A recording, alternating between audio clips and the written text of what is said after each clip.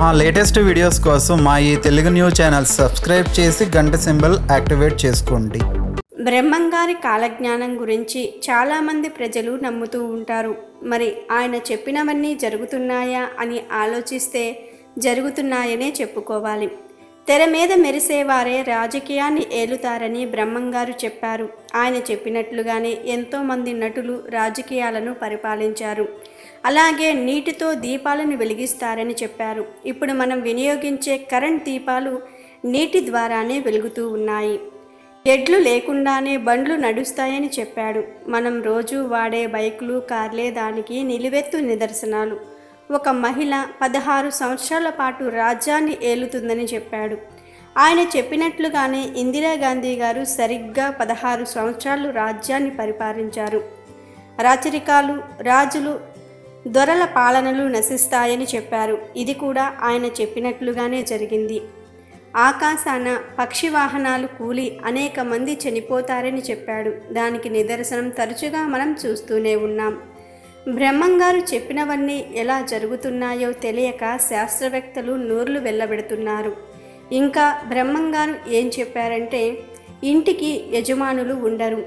ఎవరికి వారే యజమానులవుతారు. ఉమ్మడి కుటుంబాలు నశించిపోతాయి. ఆడ మగలు భావి వరుసలు మరిచి నీతి నియమాలు లేకుండా ప్రవర్తిస్తూ ఉంటారు.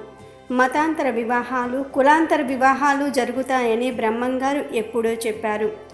బియ్యం ధర విపరీతంగా పెరిగిపోయి జనాలు ఆకలి చావులు చేస్తారు. ఆడవారి ఆయువు పెరుగుతుంది మగవారి ఆయువు తగ్గుతుంది. వేశ్యల వలన ప్రజలు భయంకరమైన వ్యాధులకు గురవుతూ ఉంటారు. ఇప్పటికే హెచ్ఐవి బారిన పడి చాలామంది చనిపోయారు. అందరికీ డబ్బు పిచ్చి పడుతుంది. డబ్బే రాజ్యలుబాటు చేస్తుంది. పక్కవారి భార్య మీద మోజుపడి వారిని వశపరుచుకుంటారు. దేవస్థానాలు పాపాత్ముల వలన నాశనమైపోతాయి. ఎన్నో విచిత్రమైన యంత్రాలను కనిపెడతారు. కానీ చావు పుట్టుకలను మాత్రం ఎవ్వరూ ఆపలేరు. నేనే కల్కిని అని దొంగ స్వాములు పుట్టుకొస్తారు. ముస్లింలు ఇతర మతస్థుల మధ్య యుద్ధం చెలరేగి ముస్లిం సైన్యం పెరిగిపోతుంది. సముద్ర జీవులన్నీ చనిపోయి సముద్ర ఒడ్డుకు వచ్చి చేరుకుంటాయి. కాశ్మీర్లో పెద్ద యుద్ధాలు జరుగుతాయి. మన దేశంలో ఒక్కొక్క రాష్ట్రం రెండు రాష్ట్రాలుగా విడిపోతుంది. పవిత్రమైన కాశీలో పెద్ద యుద్ధం జరుగుతుంది. హైదరాబాదులో చెరువులన్నీ ఎండిపోయి నీటి కొరత ఏర్పడుతుంది. క్రిస్టియన్స్ ముస్లింలు తిరుపతి వెళ్ళి స్వామివారిని పూజిస్తారు. మాలలు మాదిగలు తిరుపతిలో పూజారులుగా ఏలుబాటు అవుతారు. ప్రజలకు దేవుని మీద భక్తి పోయి తిరుపతికి రావటం మానేస్తారు. అప్పుడు తిరుపతిలో జనాలు రాక పాడుపడి పందులు తిరుగుతూ ఉంటాయి. గోదావరి కృష్ణా ప్రవాహాలు పెరిగి వాటి తీరంలో ఉండే ప్రజలు చనిపోతారని బ్రహ్మంగారు ఎప్పుడూ చెప్పారు. ఢిల్లీలో బాంబుల వర్షం కురుస్తుంది. అదే సంవత్సరం నెల్లూరు జిల్లా నీట మునిగిపోతుంది. డబ్బును అప్పుగా తీసుకొని పోగొట్టుకుంటారు. దానికి ఉదాహరణ విజయమాలియా నుండి పెద్ద పెద్ద బిజినెస్ మ్యాన్ల వరకు చాలామంది డబ్బుని ఎగ్గొడుతూ ఉన్నారు. మనుషులు అబద్ధాలు ఆడి తప్పుడు ప్రమాణాలు చేస్తారు. వితంతువులు మళ్ళీ పెళ్ళి చేసుకుంటారని బ్రహ్మంగారు ఎప్పుడో చెప్పారు. ఇటీవల మనం చూస్తూ ఉన్నాం కూడా. తీసుకోవలసిన దానికంటే ఎక్కువసేపు విశ్రాంతి తీసుకొని మనుషులు బద్దకస్తులుగా మారిపోతారు. ప్రజలు ఎక్కువ డబ్బును సంపాదించి జల్సాగా ఖర్చు పెట్టుకుంటారు. భోగ భాగ్యాలకు ఎక్కువగా అలవాటు పడిపోతారు.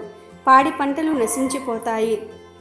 తండ్రి కొడుకుల మధ్య తరచూ గొడవలు జరుగుతూ ఉంటాయి. అడవి మృగాలు గ్రామాలలోనికి ప్రవేశించి మనుషులను చంపుతాయి.